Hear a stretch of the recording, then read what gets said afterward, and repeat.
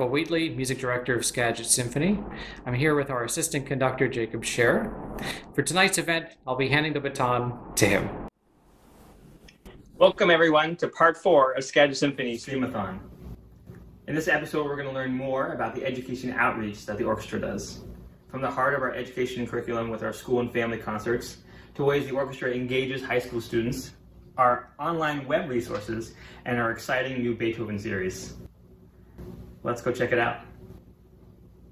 Hi, my name is Mandy Walters Whitaker, and I'm here to tell you about a celebration we'll be having this year. December marks Beethoven's 250th birthday, and throughout this season, the Skagit Symphony will be celebrating Ludwig van Beethoven. Our concerts will feature his music, and we're excited to be able to offer you an educational opportunity. We realize a lot of you are home, maybe with your kids, maybe you need something to do together. And we'd like to give you this opportunity to learn a little bit more about Beethoven and why he's still important 250 years on. Over the next nine months, there will be a new adventure with Beethoven each month. If you want to just learn a little, read the first section. Get a small snapshot of who Beethoven was, a little bit about his music. If you want to learn more, dive into the other parts. Learn about his politics, learn about his music more in depth, learn about the people who worked around him and his struggles with disability, a dysfunctional family, and trouble finding love. Now, even if you've never stepped in a concert hall, I promise you've heard Beethoven's music. His theme of fate knocking at the door became V for victory in World War II. His Ninth Symphony, Ode to Joy, was used to celebrate the fall of the Berlin Wall. Maybe you've heard Beethoven's music in Trolls World Tour or Jurassic World or on the funny pages where Schroeder plays with his beloved Beethoven on his toy piano. So I hope you'll join us over the next few months, learn a little bit about Beethoven, and find out why he's still so important. I hope you'll join us. Thanks. Hello, my name is Deborah Smeltzer, and I am the chairperson of the Music Education Committee at Skagit Symphony. I'm here today to share with you the resources we provide in our program, and especially our virtual classroom. Our homepage shows the poster from the family concert that we did in January of 2020. And this page also shows all the different links we have on the virtual classroom with resources for teachers, students, and the community. And I'm going to take a moment today to walk you through a few of these and share them with you. We provide cultural context for the music that we play through art, through biographies of composers, and listening links of the repertoire. Along with that, we provide historical context through maps and timelines that help students learn about things going on at the time the music was being composed and played. For teachers, in order to prepare their students for a live performance in McIntyre Hall, we provide teacher tips, music learning standards, and concert etiquette. This all comes together under the baton of Jacob Scher, our assistant conductor, who has provided leadership for our school and family concerts these past few years. This year we'll be focusing much more on online learning, and it's thanks to the generous community we have here in Skagit Valley that we're able to provide this music education. Thank you. In addition to these resources outlined by Mandy and Deborah, we also offer to talented and motivated high school age students the opportunity to audition for membership within our orchestra. If successful, they have the unparalleled experience of rehearsing and preparing concerts in a full orchestra alongside our highly trained and experienced musicians. These many educational resources that the Skagit Symphony has created to inspire our community are not meant solely for the benefit of young students or high school age students, but also for the young at heart. If you have any interest in music history, I myself have taught seven courses which are all available for free at SkagitSymphony.com. These courses entitled Great Turning Points in Music History cover in three volumes the whole of music history, in an additional three volumes the whole of opera history, and finally a single course on the history of film music.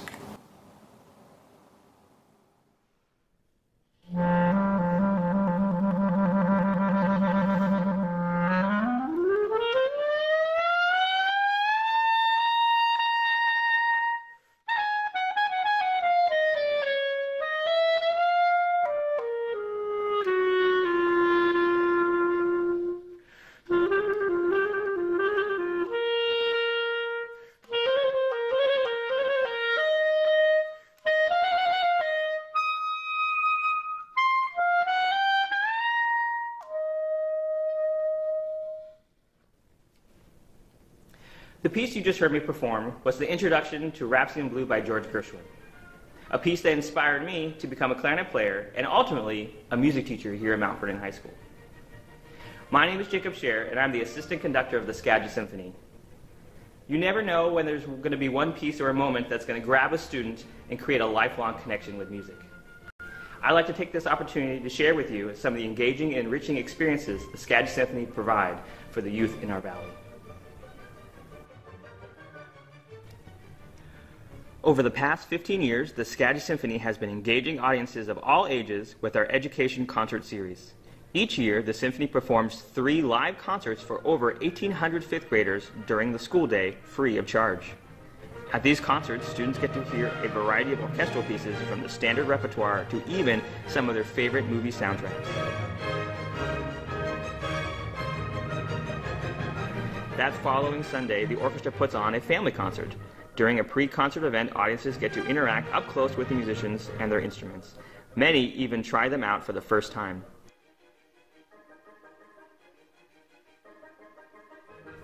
Unfortunately, we are not able to hold either of these wonderful concerts this year, but stay on the lookout at SkagitSymphony.com for our virtual events.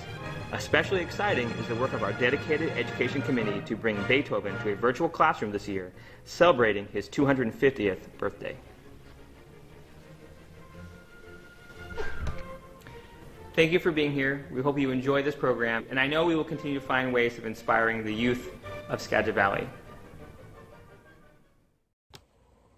Hi, my name is Angela. I was a part of the Skagit Symphony from 2017 until 2020, and I auditioned to be in the Skagit Symphony. For a couple years, I was the only student, and it was super scary and nerve wracking, but I was, I felt so included, and I felt like I was a part of the group, and it was the most amazing three years and I learned so much about my instrument and about being in an orchestra and learning from a conductor. And it was something that I took all those lessons that I really applied to other orchestra groups and just my cello adventures. Very sad that my last year was cut short, but I'm so happy that I was a part of it and that I was given the opportunity, and I'm so happy that the symphony is continuing to do that. This year, I started my first year at college. I attend the University of Puget Sound, and I'm planning on being a music composition major. And I, again, I'm so happy that all of the experiences that I um, had in high school, especially the Skagit Symphony, really helped pave my paved the way to really learning about what I'm passionate about, which is music. And I'm so happy that I was there for the time that I was and everyone was so welcoming and it's something very special to me. Hi, I'm Zach. I've played with Skagit Symphony for one and a half years now. Um, everyone there is super nice. It's a great experience, and I always have a great time.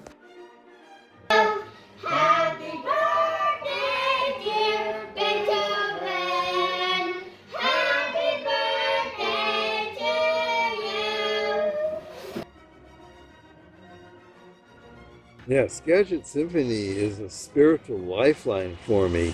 Uh, I enjoy playing good music, and not only that, I enjoy the camaraderie of sharing the music with the other players and with the audience.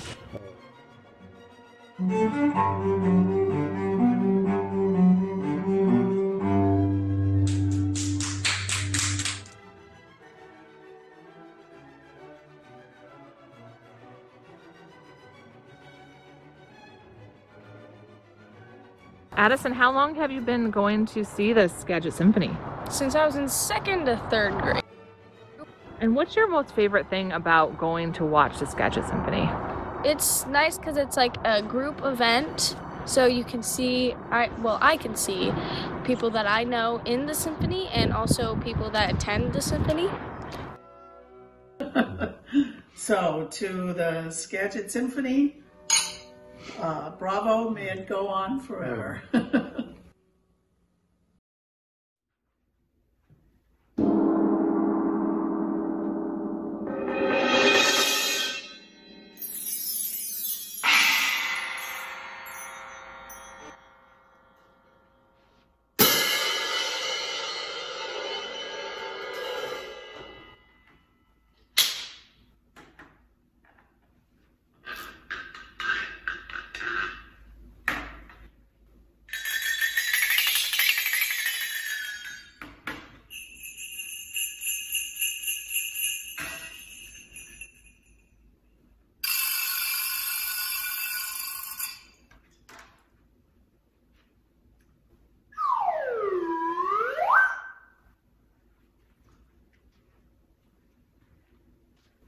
could anyone not have fun playing all these instruments? Now, oftentimes we get to hear just the percussion behind the orchestra, but in these next videos, we're going to bring the percussion front and center. Hope you enjoy.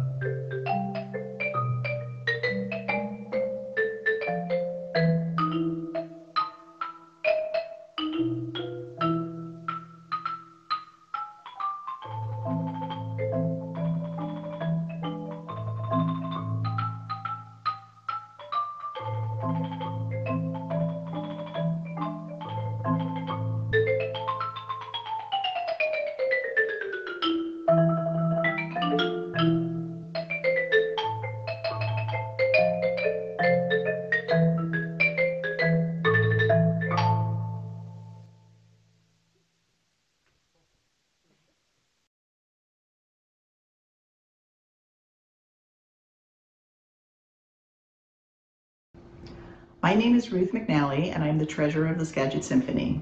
As a relatively new board member, I had the opportunity to attend the school's concert for the first time last January. It was an amazing event, in part due to the incredible logistics of completely filling and emptying McIntyre Hall with school children three times in four hours. It was wonderful to see the excitement of the children, particularly as they left. I cannot forget one boy who was energetically conducting as he walked out. This event required a team effort from the staff, orchestra, and many other volunteers, and I am grateful for their efforts. Skagit Symphony is truly a treasure for our community. I'm Christy Hine. I'm a member of the Skagit Symphony Chorus, and that is actually what first brought me to the symphony. Uh, the chorus was formed in 2009, and I have been involved ever since. Uh, we became season ticket holders in 2011. Rupen, who was the former director, did Anacortes Senior College courses that we took on the history of music. So we were sorry to say goodbye to him, but we were thrilled to get Michael Wheatley as our new director. His audition concert, he came out to give his pre concert talk, and we looked at each other and said, He's the one and we were so excited when he became the director. Our first two concerts with him were fabulous, especially the holiday concert where we sang. So it's really been hard to have that cut off right in the middle of that first wonderful season. But I really have faith that we're all going to be getting together again and making music. Hi, I'm Karen Baldwin with Quantum Construction, and we support and we love the Skagit Symphony because their music impacts our lives and the lives of so many others, both young and old, in our community. They bring such pleasure and they're so passionate and dedicated. There's real joy in experiencing one of their performances or attending the beautiful annual garden tour where the harmony of music and nature come together we love Skagit Symphony. Hi, I'm Michael Whiten. I'm Paul Dunn. We love the Skagit Symphony. yes, we do. What do you love about the symphony? You know what I love about the symphony is that here we are in one of the most beautiful parts of the country. We're surrounded by all this natural beauty, and yet we also have access to high quality, high culture stuff like the symphony. We can just go right there and check it out. Yeah, the music program that the symphony does for the kids. I love that kind of outreach into everyone in the community, not just those who know classical music and appreciate classical music, but those who are just learning for the first time about classical music and what what an orchestra is, a symphony, and all of those great things. And our Skagit Symphony does that. It makes it accessible to all of us, and that's so exciting and so important. Um, I really appreciate you said that because you are a lifelong musician, but I'm not, and so sometimes symphonies can kind of seem like a little intimidating, welcome only to, to people who have a background in music. But I love the fact that um, Michael Wheatley gives these lectures in yeah. advance yeah. of the performances, and that it really is inviting to everybody, regardless of their experience. So many things we love about Skagit Symphony. Yeah. We're so grateful for it. We love, love, love Skagit Symphony. Hi, I'm Marna Fletcher, Executive Director of Skagit Symphony. I'm here to introduce our Conductors Roundtable featuring Music Director Michael Wheatley, Assistant Conductor Jacob Scher, and our very special guest Rupen Shakarian, who was Skagit Symphony's music director for 14 years before stepping down to pursue other musical endeavors. We hope that you'll enjoy this lively conversation.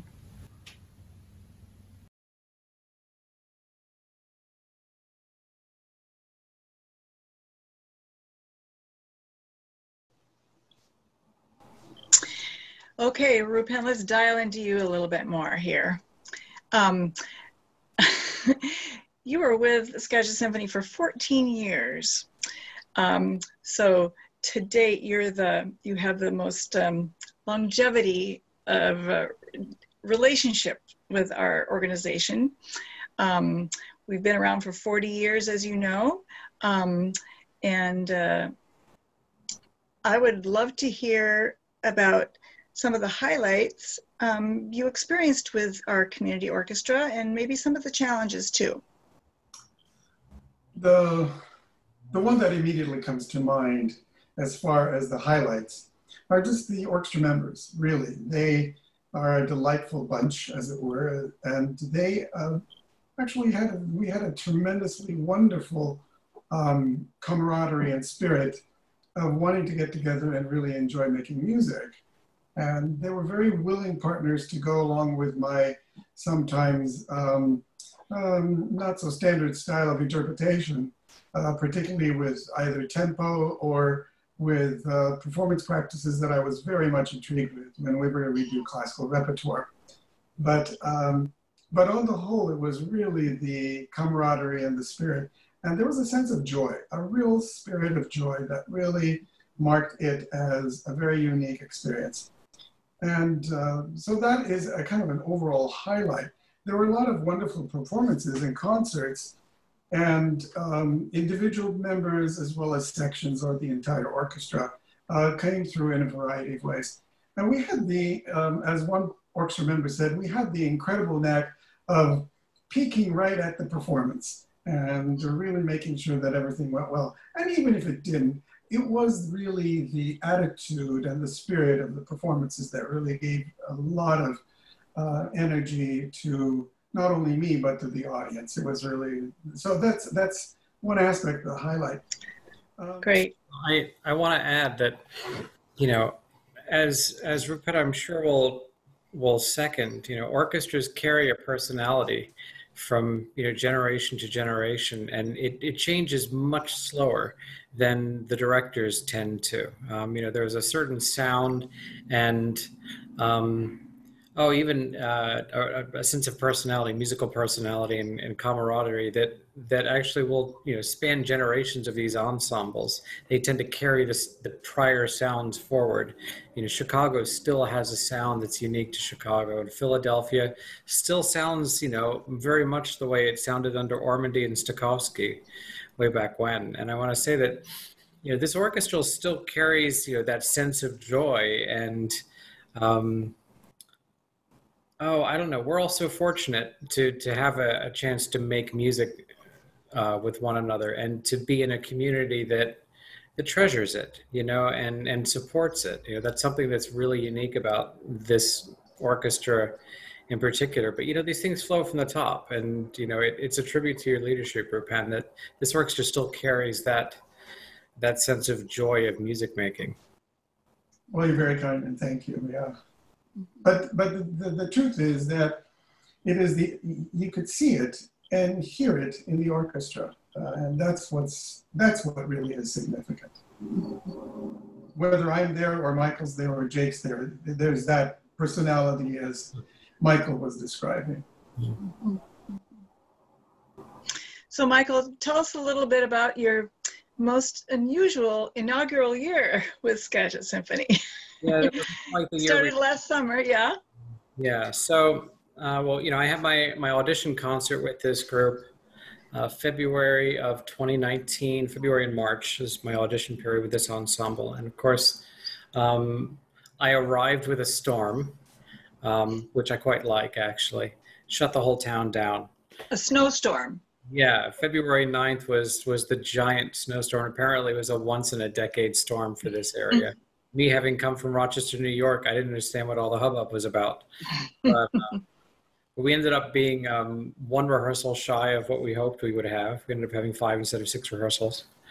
Um, but I'll you, the, the one thing I noticed immediately from the first rehearsal um, was, uh, you know, the, the, chemistry between myself and the ensemble. We just kind of clicked, and that really isn't always the case. You know, I've done enough guest conducting and enough auditions, you know, to discover that um, it, it's a lot like dating, you know, and, and sometimes you click and sometimes you don't. There's this chemistry, and with this with this lovely body of people, I mean, we were firing on all cylinders um, within five minutes of the first downbeat. We were really already making music with one another, and it was it was so impressive um, and moving, an experience that I felt that uh, you know I we, we could make great art together and i wanted to be part of this community and that plus, you know, I, I had the opportunity to, to get to know so many of uh, the patrons and and the administrative team behind the group and board members and it, it really is an amazing group here. So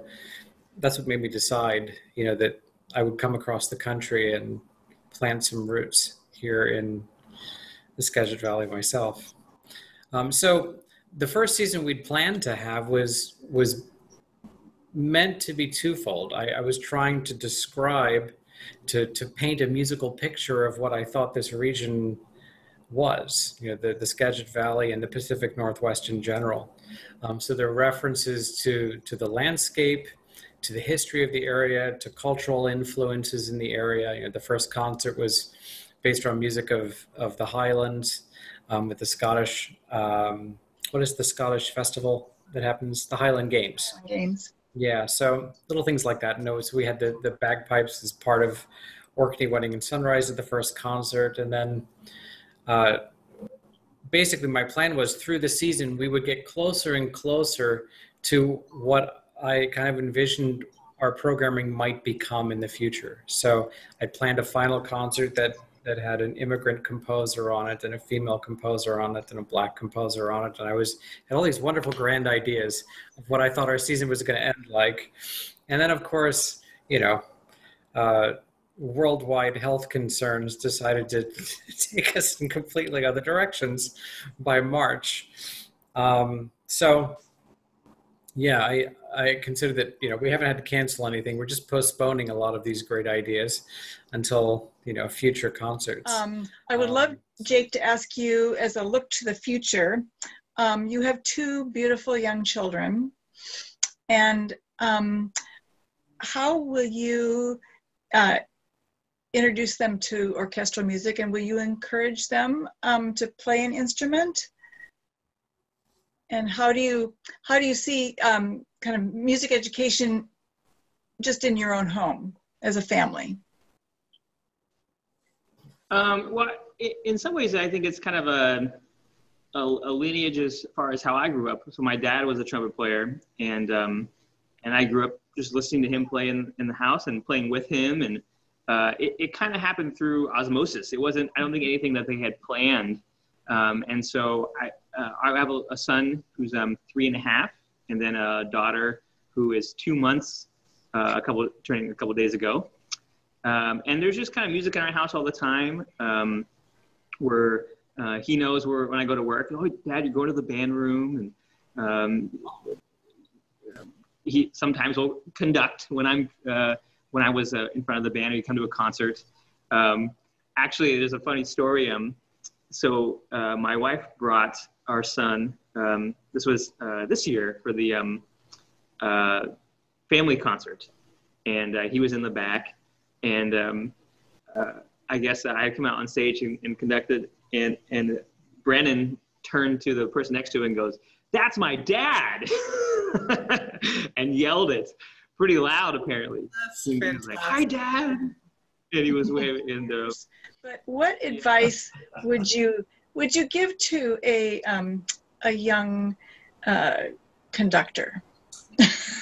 that's one of the things that I would recommend for young conductors is to uh, experience singing, playing uh, string instruments, wind instrument, and actually singing. You don't have to be a great singer, but um, as long as you experience that.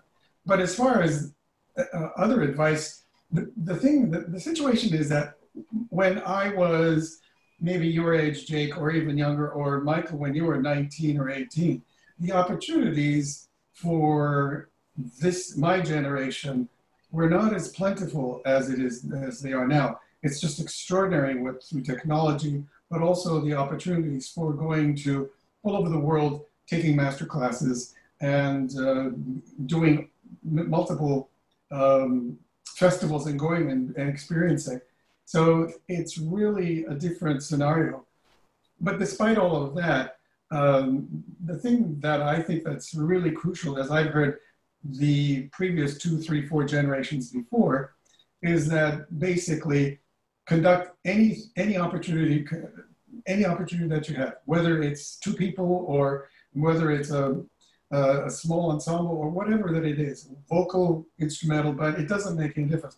Just be out there and conduct simply because that in itself is your time of practice and education. Otherwise, it's um, studio work, but that will be important. But you have to go outside. And unfortunately, our our job is actually our position is uh, basically we learn when we are actually getting positions to conduct. Uh, how else are we going to do it? Right. Yeah.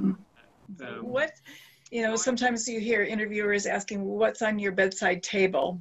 Mm. What are you reading? And so this is that kind of question about what, what kind of music have you been listening to lately? Michael, you go first. All right, sure.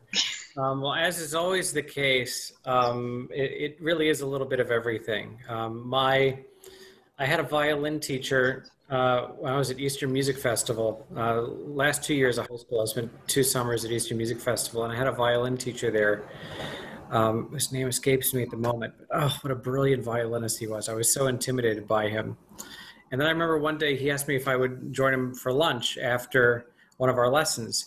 And we get in his car, and it was Led Zeppelin playing on the radio, and I and I was just so taken aback. We were talking about Mahler 30 seconds ago, you know, and now he's listening to Led Zeppelin, and he said, "Oh, there's no classical music allowed in the car," and that was his own rule. I was, I've never forgotten that. I've always gotten a kick, but it was one of those first little things when I was a kid, and I was so obsessed with classical music, classical music that I didn't take anything else seriously and it opened up my my world a little bit. It's like music is music, you know, and it doesn't matter where it's coming from. And then, you know, years later, what's the last paper I write as a doctoral student? It's on three songs by Led Zeppelin. so, anyway, with the I, I just pulled up my Spotify app, and the three things I've been listening to most recently uh, Scriabin piano works, including the piano concerto, which we're going to do at some point. I love Scriabin's piano concerto. Um, some bluegrass music, and then Melody Gardot, uh, singer songwriter who lives in Paris, but originally from New Jersey. Melody Gardot, I'm completely in love with her voice.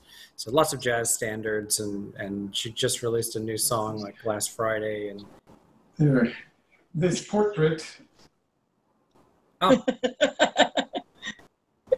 um, I've been exactly. I've been. I I've always had this passionate love affair, or whatever you want to call it, this adoration, or just a total immersion into Bach.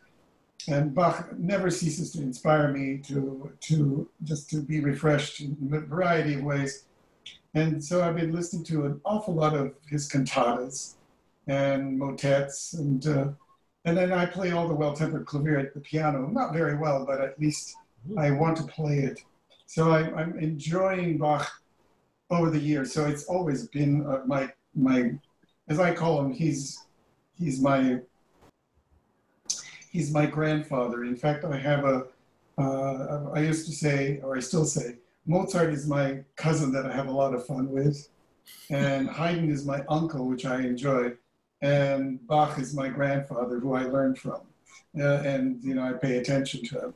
But I've been also listening to a lot of 20th century or 21st century contemporary younger composers throughout. And what's really nice with YouTube, I want to be able to listen to a lot of the younger composers of two or three generations younger than my age, uh, just to sort of see where what what they're doing, but also how the trends and shapes are, are occurring.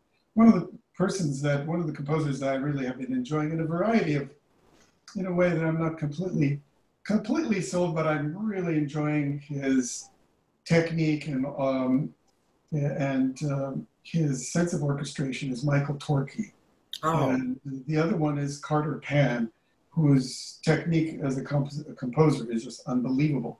So I've been enjoying those two amongst a lot of other composers. So uh, early, the younger composers, and also I've been jumping way back into Renaissance and um, medieval music, particularly with Renaissance composers from all over the place, uh, not just England, but from Italy and France. And um, that's always been a passion of mine is to listen to that. So, yeah, it's kind of. I have to agree with you, Pen. I'm, I'm listening, I think right now, uh, well, uh, I'm hooked on Hamilton right now. that's, so that's a different kind of side of it. I, I'm just always have that going in the car right now. Um, but I think I'm kind of searching for some new inspiration. Um, I, I, I have like my standard composers that I really like listening to, but I feel like with this change and diving into chamber music more, I'm kind of wanting to find something that I haven't heard yet. And, and I'll, I'll let you know what it is when I find it. Um, but I think that's my musical ear right now is this kind of like hound dog trying to hunt for um, something that, uh, that Anyway, piques my interest. thanks, guys. This has been absolute pleasure. Um, I feel like I've gotten to know each of you a little bit better too. So um, I am I feel so blessed to um, know each one of you. And Skagit Symphony is is uh, um, is equally blessed uh, for receiving the the bounty of your your hearts and your uh, skills and your dedication. So thank you so much. So Right. long live Skagit Symphony. Yeah. Yes. May it live long and prosper, right? oh, oh. okay, thanks a lot, guys. Thanks. Good to see you all. much. Good to see you all.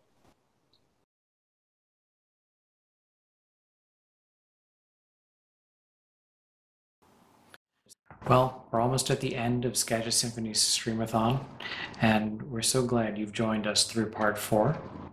We wanted to end this last part of this event with some fireworks, and we were very fortunate that our friend Kinga Augustyn had some to share with all of you.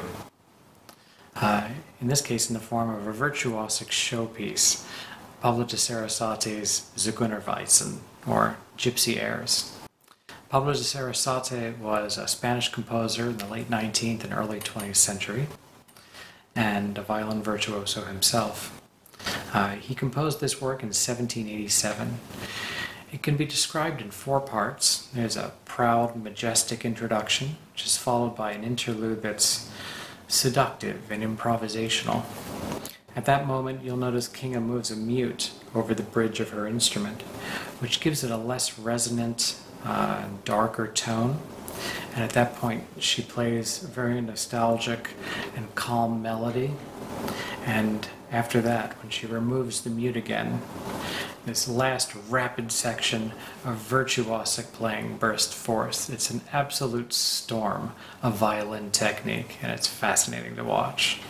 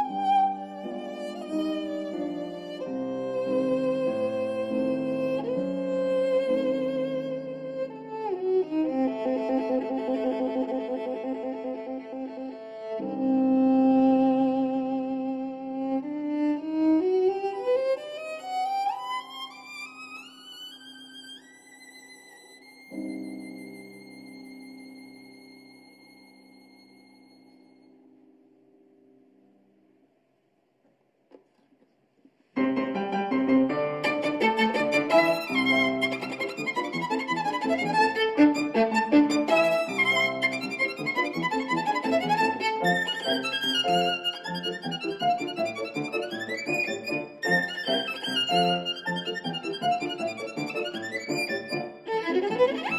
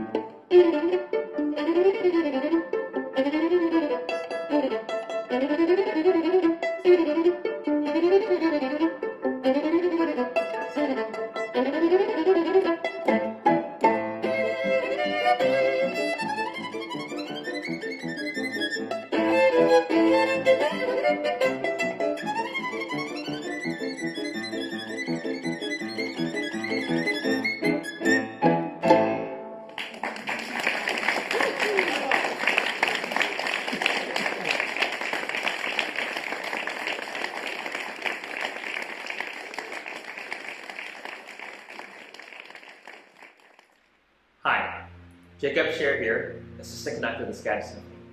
I'm also the band orchestra director here at Mount Vernon High School. We're standing in the walkway that leads into one of the music rooms, and behind me is a mural that a student did a few years ago.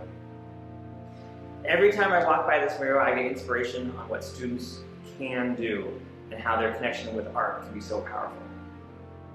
I'd like to share a story with you. A few years ago, you may remember we had the Cascade Mall shooting. And this was a traumatic event for our school and our community. At that time, the Mount Vernon High School Wind Ensemble was rehearsing a piece called An American Elegy. The day after the shooting, we had a rehearsal, and I was able to share with the students that an American elegy was composed in memory of those who had lost their lives in the Columbine High School shooting on April 20th, 1999, and to honor the survivors. It was offered as a tribute to their great strength and courage in the face of a terrible tragedy. The composer wrote, I hope the work can also serve as one reminder of how fragile and precious life is and how connected we all are as human beings. An American elegy is, above all, an expression of hope. And we performed that piece in class, not for anyone else, not for an audience, but for ourselves. Not every note was right, not every note was in tune, but there wasn't a dry eye by the time we got through the piece. Every one of the students had created an emotional connection that crossed generations. Most of them weren't even born when that event happened. This is the power of music, the power of engaging them in a family in the creative process. And it's organizations like the Skagit Symphony that create those opportunities and maybe ignite that flame of passion. Now, that connection and that emotional event wouldn't be possible if they didn't have experiences like what the Skagit Symphony provide.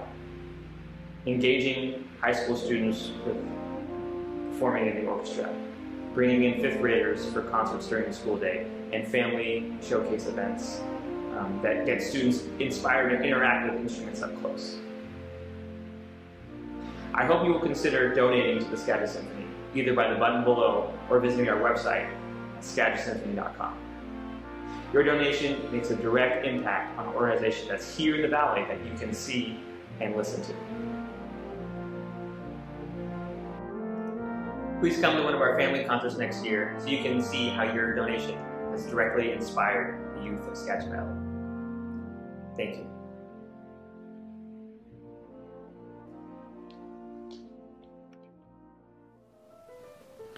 Well, friends, parting is such sweet sorrow that I could say goodnight till it be morrow. Let's take a quick look back at all four of these events together.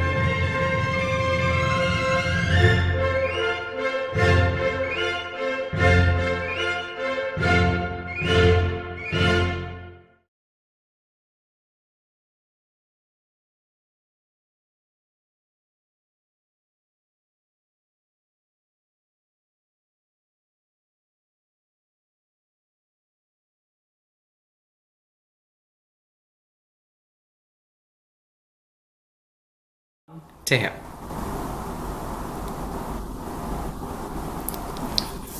Can we do that a little quicker? Yeah. So as soon as I say I'll be handing the baton to him, just put your hand up and then he'll slap it in your hand. I'll have. Okay. Okay. Okay. There you go. Thank you, Brennan. All right. Handing the baton to hi- wait. Where's your hand? Put your hand up. Okay. so you're in your teaching studio. I am. For tonight's event, I'm. Uh, I forgot to announce you first. All right, let me do it again. Okay. Ready? All right, take three or four, whatever we're on. Uh-oh. Just fell off. Hold on. I'm loving. It. Hello, everyone. I'm Michael Wheatley, music director of Sk- oh. Hello, everyone. I'm Michael Wheatley. All right, you ready? All right, here we go. Take seven. Skagit Symphony. Mm-hmm. I'm here with. Brent, you gotta be quiet, okay? Why do they laugh at me? Yeah, but my So- my collar's turned up. It's not. All right. All right, good enough. Handing the baton to him.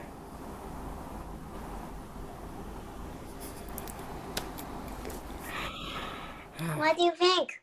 Is good. I think.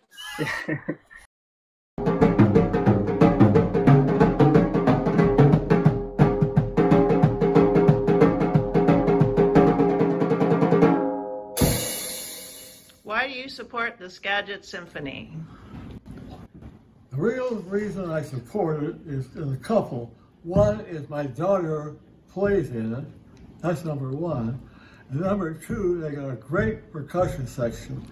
And I'm a drummer. I don't I don't drum that kind of music, but it's, it, they're fantastic musicians, and I love to see them.